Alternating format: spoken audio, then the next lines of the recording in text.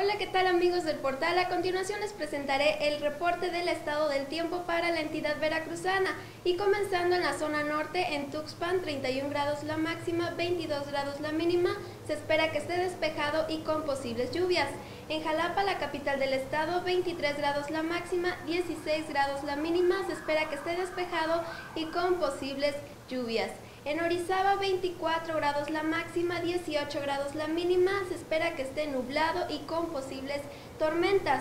En Veracruz Puerto 30 grados la máxima, 23 grados la mínima y se esperan lluvias. Y en la región de los Tuxtlas 27 grados la máxima, 22 grados la mínima y se esperan también tormentas. Mi nombre es Karen Bonilla y yo los espero mañana con más información sobre el estado del tiempo aquí en el portal.